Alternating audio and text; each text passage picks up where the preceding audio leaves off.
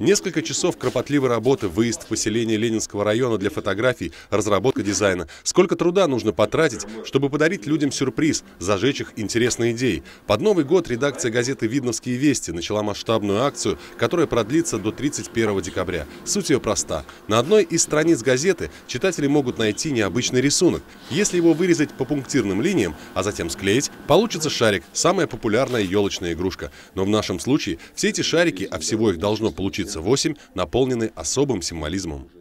В каждом, каждом выпуске мы а, посвящаем один шарик одному поселению Ленинского района.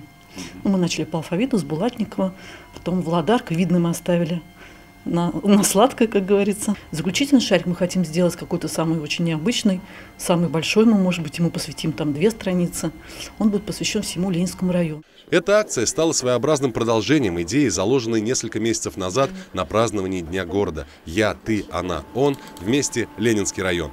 В итоге участники, а им может стать любой, должны собрать все шарики. Несмотря на то, что акция закончится под Новый год, а сделать нужно именно шары, уже сейчас некоторые читатели приносят свои поделки. И хотя они мало напоминают то, что необходимо собрать, эти трогательные моменты радуют сотрудников редакции.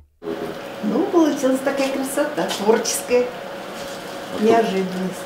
А кто принес?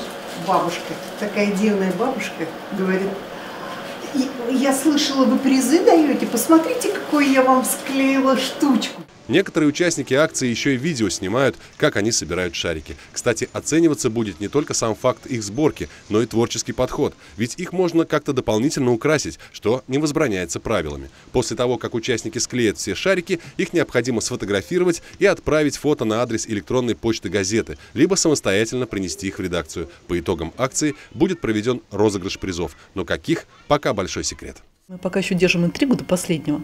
А вот. И секрет раскроем прям буквально перед самым Новым годом. Как мы сказали, наш редакционный Дед Мороз всем читателям сообщит, в чем же заключается вот эта вот основная интрига.